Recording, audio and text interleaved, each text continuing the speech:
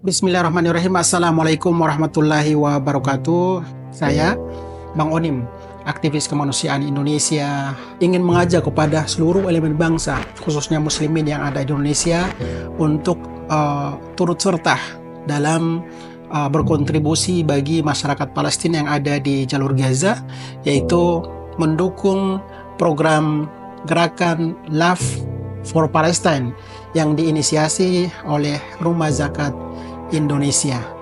Tentunya salah satu langkah yang kita lakukan pun membatasi atau menghentikan mengkonsumsi produk yang jelas-jelas memberikan dukungan genosida bagi saudara-saudara kita yang ada di jalur Gaza. Yang kedua, dengan menyisihkan sebagian dari harta yang Allah Subhanahu wa taala titipkan kepada kita untuk kita apresiasikan bagi saudara-saudara kita di Palestina, di Gaza dan juga aktif dalam aksi yang mana murni memberikan dukungan dari suara hati kita untuk saudara-saudara kita yang ada di Palestina. Sahabat, Pemazakat Indonesia, kita memberikan dukungan kepada masyarakat Palestina bukan karena iba atau sedih, karena akan tetapi ini bagian dari empati sebagai bentuk bukti bahwa kita juga manusia, saudara-saudara kita di Gaza pun manusia. Wabillahi taufiq wal hidayah. Wassalamualaikum warahmatullahi wabarakatuh.